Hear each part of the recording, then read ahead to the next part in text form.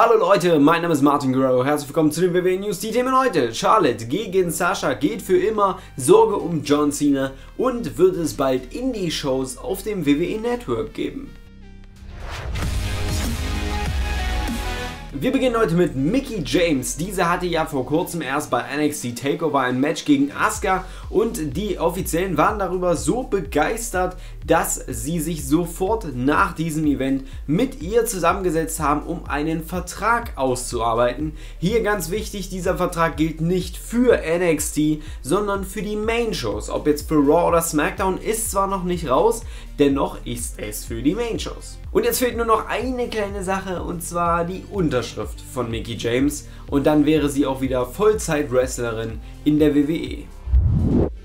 WWE hat jetzt bekannt gegeben, dass auch die Wyatt Family ihren SmackDown Tag Team Titel unter der Freebird Rule verteidigen wird. Das heißt, obwohl Bray Wyatt und Randy Orton den Titel gewonnen haben, darf auch Luke Harper den Titel verteidigen. Genauso macht man das momentan auch mit Xavier Woods, Kofi Kingston und Big E, also New Day. Denn hier haben ursprünglich auch Kofi Kingston und Big E den Titel gewonnen, aber Xavier Woods hat über die nun mal schon sehr lange Zeit schon häufiger den Titel auch verteidigen dürfen. Mal eben noch ein Paket gekriegt. Im Moment gibt es Gespräche darüber, NXT ab 2017 live auf dem WWE Network auszustrahlen. Allerdings gibt es hier aber noch einige logistische Probleme dabei. Denn die Kosten, um das Ganze durchzusetzen, wären enorm hoch im Vergleich zu dem, was man dazu rauskriegt. Denn man müsste ja extra für die eine Stunde NXT alle Talente dahin fliegen lassen. Und man geht auch nicht davon aus, dass wenn man jetzt von dem aktuellen Taping-System weggeht zum Live-Programm bei NXT, dass es dadurch viel mehr Abonnentenzahlen für das Network geben sollte. Somit rechnet sich das eigentlich nicht wirklich, obwohl man plant im Jahr 2017 NXT auf jeden Fall noch ein bisschen aufzupimpen. Viele fragen mich immer wieder nach Page. Dazu gibt es jetzt auch ein Update. Diese ist nämlich jetzt kurz vor dem Auslaufen der 60-Tage-Suspendierung wegen ihrem zweiten Wellness-Policy-Verstoß. Denn am 9.12. läuft das Ganze aus und sie könnte theoretisch wieder eingesetzt werden wenn sie nicht verletzt wäre. Sie hatte nämlich in den letzten Monaten sehr viele Nackenprobleme, weshalb sie sich auch im Oktober operieren ließ. Jetzt, so sind die aktuellen Pläne, möchte man aber Paige trotzdem eine Non-Wrestling-Rolle bei Raw geben, um sie denn auch wieder in den Shows irgendwie zu involvieren. Und eigentlich würde sich die Frage stellen, warum macht man das, wenn sie eigentlich verletzt ist, man sie aktuell ja großartig wahrscheinlich gar nicht braucht warum setzt man sie so krampfhaft irgendwie wieder ein? Und da möchte ich jetzt einfach mal ein bisschen spekulieren, denn da glaube ich eher, das liegt daran, dass ja Alberto del Rio, mit dem sie ja zusammen ist, gerade ziemlich viel bei Indie-Shows unterwegs ist und sie immer mitnimmt. Das heißt, auf Social Media Plattformen und so weiter tauchen immer wieder Bilder auf von Paige bei fremden Companies. Und ich glaube, dass man hier zwar nicht so richtig sagen will, ey, lass das mal, sondern eher so, naja, komm, komm mal lieber wieder zurück und wir finden schon irgendwas für dich. Beim letzten Mal habe ich euch ja darüber berichtet, dass Jerry Lawler komplett aus dem WWE-Programm rausgenommen wurde, da die Raw und SmackDown Pre-Shows nicht mehr auf dem WWE Network ausgestrahlt werden. Die aktuelle Pre-Show gab es nur noch auf YouTube und auch nur noch ein paar Minuten und die Frage ist ja auch, wenn Jerry Lawler jetzt nicht da ist, was ist denn jetzt eigentlich mit Lita? Und da hat der gute Jim Ross mal nachgefragt und rausbekommen, dass Lita auch ab sofort kein Teil mehr von der WWE ist und nicht mehr eingesetzt wird. Nachdem Sasha Banks erneut den Raw Women's Championship von Charlotte gewann, häuften sich im Internet die Memes darüber, wie häufig der Titel noch zwischen Charlotte und Sasha Banks hin und her wechselt. Und die ursprünglichen Pläne waren eigentlich, das jetzt zu beenden und jetzt Bailey ins Women's Titelmatch zu schicken. Aber diese sind jetzt auch erstmal wieder verworfen, denn man wird noch ein weiteres Match zwischen Charlotte und Sasha Banks machen. Das liegt auch daran, dass Ric Flair ja einen neuen Vertrag unterzeichnet hat und man ihn auch wieder in diese Storyline einbauen kann. So haben sie ein Match bei Roadblock End of the Line und da war eigentlich die Idee, dass sie ein Ladder-Match bestreiten sollten. Das wurde allerdings wieder verworfen, möglicherweise weil SmackDown jetzt schon zwei Ladder-Matches hatte. Danach war die Diskussion, ob es ein Steel Cage Match werden soll, aber da sie ja erst vor kurzem bei Hell in a Cell ein Match hatten, würde das wahrscheinlich auch nicht so wirklich Sinn machen. Deshalb entschied man sich letztendlich für das 30-minütige Iron Man Match. Und jetzt aber zu der Geschichte, warum das denn ewig gehen sollte. Denn es ist ja jetzt nur noch einmal, Sascha gewinnt und dann ist die Fehde auch endgültig vorbei. Möchte man meinen. Aber Charlotte hat seit Juli 2015, also seitdem sie in die Main Shows kam, eine Streak aufgebaut und zwar eine Pay-per-View-Streak. Sie hat seit diesem Zeitpunkt nie bei einem WWE Pay-per-View verloren. Und die WWE möchte diese Streak auch weiter ausbauen.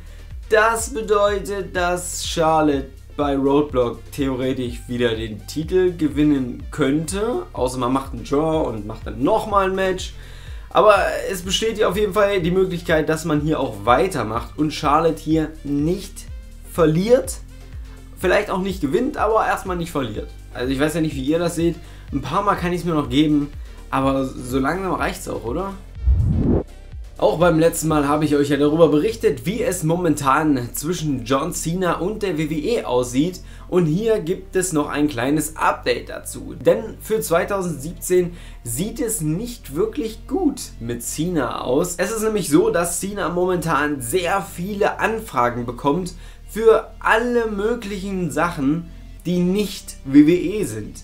Und Cena auch, weil er es cool findet, sehr viele dieser Sachen annimmt. Und jetzt schaut man sich den nächsten exklusiven SmackDown Pay-Per-View Elimination Chamber an und sieht, dass bei diesem Pay-Per-View, der am 12.02. stattfindet, John Cena nicht bestätigt ist. Das könnte möglicherweise heißen, dass auch in 2017 und schon am Anfang er wieder oder noch ausfallen wird und so auch hier kein Teil von der WWE sein wird, auf jeden Fall nicht vor den TV-Kameras. Ursprünglich war ja geplant, dass er ein Match gegen den Undertaker bei WrestleMania bestreitet. Das wäre zwar immer noch möglich, da ja der Undertaker auch nicht so häufig da ist, da muss man die Termine nur irgendwann mal treffen und dann passt es schon. Dennoch ist es halt irgendwie ein bisschen eigenartig, dass man Cena, der sonst immer da war, jetzt wirklich so selten noch sieht. Und dann zur großen Frage, wird es bald Independent Wrestling Shows auf dem WWE Network geben? Eigentlich standen wir schon mal so kurz davor, dass das klappen könnte, aber wir kennen ja den guten Vince. Dieser hat sich nämlich vor kurzem dazu entschlossen, okay, wir versuchen das, es wird Independent Wrestling Shows auf dem Network geben, ihr habt dazu meine okay, setzt euch mit den verschiedenen Promotions in Verbindung und versucht da irgendwelche Deals rauszuhauen. Soweit, so gut. Welche Indie-Shows es hier sein sollen, weiß man zwar nicht, dennoch hatten die Offiziellen die Möglichkeit, hier Verträge aufzusetzen, beziehungsweise sich mit den Leuten an den Tisch zu setzen. Bis einige Tage später dann Vince McMahon doch wieder seine Meinung geändert hat, wie so oft, und hat sich dagegen entschieden. Es wird also vorerst doch keine Indie-Shows geben, weil er glaubt, dass das auch nicht wirklich viele neue Abonnenten nach sich ziehen würde, obwohl ich denke, doch. Es besteht ja aber trotzdem eine große Chance, dass Vince McMahon nochmals seine Meinung darüber ändert, denn es gab eine Umfrage vor einiger Zeit, in der ein weiteres Bezahlungsmodell für das WWE Network vorgestellt wurde, wo quasi einfach nur die Frage war, würdest du mehr Geld bezahlen, wenn Indie-Shows auf dem WWE Network laufen würden. Da war noch die Rede von Ring of Honor und TNA. Und viele Leute wären wohl scheinbar bereit, das zu machen, weshalb es ja ursprünglich auch dazu kam, dass Vince sein Okay gab. Damit würde es zwar nicht mehr Abonnenten für das WWE Network geben, aber diese, die sie haben, würden mehr bezahlen, was ja eigentlich auch gut ist. Und dann freuen sich natürlich die Leute darauf, Ring of Honor, TNA und New Japan und so weiter auf dem WWE Network gucken zu können. Das wäre zwar alles echt cool, aber ich denke eher, dass die WWE sich da in Richtung WWN beziehen wird. Denn die WWE und die WWN haben eine Kooperation, Deshalb sind ja auch Leute wie Johnny Gargano, Tony Nies und so relativ gut von Evolve zur WWE gekommen. Und die WWN ist so ein Mutterkonzern, wo einige Wrestling-Promotions drunter stehen. Da wäre nämlich hier die Möglichkeit, dass man genau diese denn für das WWE Network nimmt. Das klingt auf jeden Fall erstmal realistischer als Ring of Honor, die ja eigentlich so ein bisschen jetzt in Konkurrenz stehen. Wenn auch nur so ein bisschen. Also da gäbe es eher die Möglichkeit, dass wir Evolve, Dragon Gate, äh, Shine und wie sie nicht alle heißen, dass wir diese Promotions auf dem Network sehen. Man kann also weiterhin gespannt sein, wie das aussehen würde und ihr könnt mir gerne mal in die Kommentare schreiben, ob ihr mehr zahlen würdet für Indie-Promotions. Ansonsten nochmal hier ein kleines bisschen Werbung für WrestleCrate UK. Da geht es nämlich wieder in den nächsten Monat. Falls ihr also dann auch eure WrestleCrate Box haben wollt, denkt an den Gutscheincode MartinSendMe. Damit bekommt ihr nämlich 10% Rabatt auf die Box. Also schaut da mal vorbei, Link ist in der Infobeschreibung. Und dann noch eine Sache, im Moment beschweren sich immer mehr YouTuber und auch Zuschauer darüber, dass YouTube nicht mehr alle Videos von allen Kanälen, die ihr abonniert habt, in den Feed haut.